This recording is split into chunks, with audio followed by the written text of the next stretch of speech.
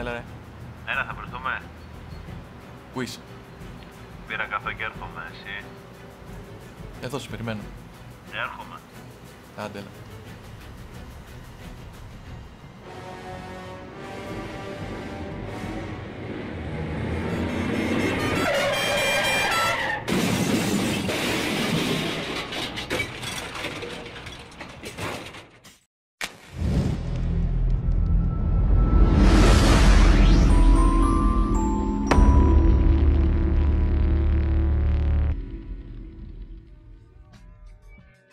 Στο σημερινό επεισόδιο θα δούμε... Έλα. Στο σημερινό επεισόδιο θα δούμε πώς θα κάνουμε μια σκηνή τρακαρίσματος. Με ασφαλή τρόπο.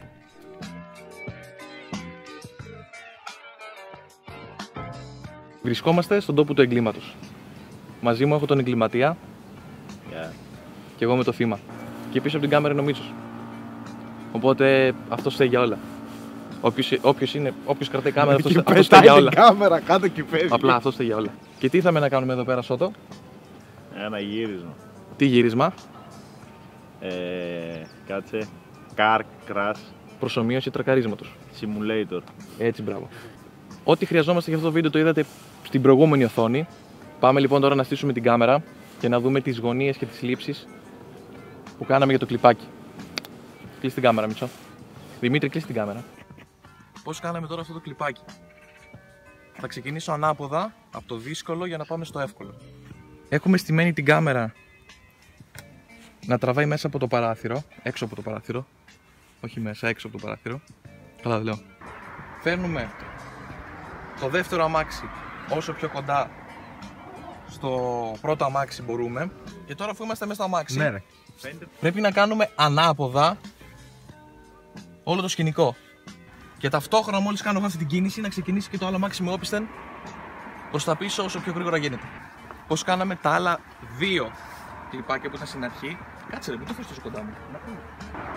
Έκανα δύο κλιπάκια με το τρακάρισμα. Το ένα το έκανα με, ένα, με το φακό, το kit, στα 35 μουμού. 24. Στα 35 μουμού. Και ένα ακόμα γύρισα κλιπάκι με το φακό τον τηλεφακό. Το φακό το τηλεφακό. Στα 100 μουμού. Να δω ποιο από τα δύο είναι, είναι καλύτερο. Θα δούμε στο τέλος ποιο θα χρησιμοποιήσω. Ακόμα δεν το έχω κάνει το μοντάζ. Για το κλιπάκι με το κινητό. Στήσαμε την κάμερα από εδώ Κάπως έτσι. Και απλά κάναμε το acting. Και σιγά σιγά η κάμερα ανέβαινε προς τα πάνω μέχρι να βγει το πλάνο. Αυτό το κάνετε όπως το θέλετε εσείς. Δεν έχει σημασία να το κάνετε ίδιο. Αυτό είναι στις προτιμήσεις του καθενός. Και το δεύτερο από αυτή τη μεριά. Τη σκηνή που μιλάω στο κινητό δηλαδή. Και κάπως έτσι κάναμε μια προσωμείωση τρακαρίσματος. Δεν είναι κάτι wow, δεν είναι κάτι που θα το δείτε στο Hollywood αλλά για μια σκηνή, για ένα ταινιάκι μικρού μήκους no budget ας πούμε και άμα δεν ξέρετε από πολλά visual effects και τέτοια είναι πιστεύω ότι πρέπει.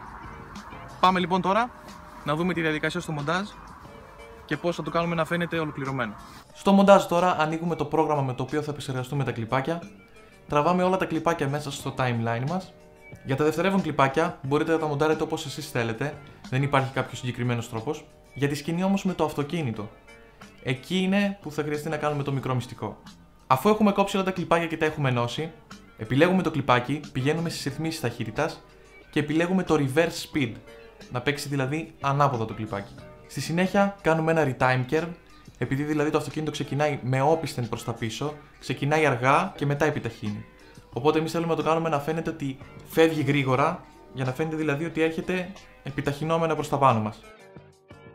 Μόλις δείτε ότι η ταχύτητα είναι ικανοποιητική, κόβετε το κλιπάκι στα σημεία που εσείς θέλετε και το σημαντικότερο είναι να βάλουμε sound effects, για τα οποία θα σας έχω και link στην περιγραφή. Το ενώνετε με το υπόλοιπο βίντεο και έχετε μία προσωμείωση του τακαρίσματος.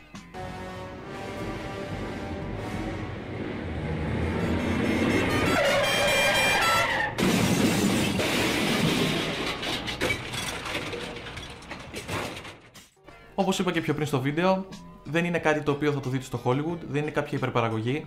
Είναι κάτι που μπορείτε να κάνετε χωρίς να έχετε γνώσεις από visual effects. Και μπορεί να φανεί χρήσιμο σε κάποιο short movie ή σε κάποιο άλλο είδους βίντεο. Γράψτε κάτω στα σχόλια αν έχετε κάποιες άλλες DIY ιδέες να κάνουμε σε κάποιο άλλο επεισόδιο. Και μέχρι τότε απολαύστε κάποιο από τα υπόλοιπα βίντεο στο κανάλι και τα λέμε στο επόμενο επεισόδιο.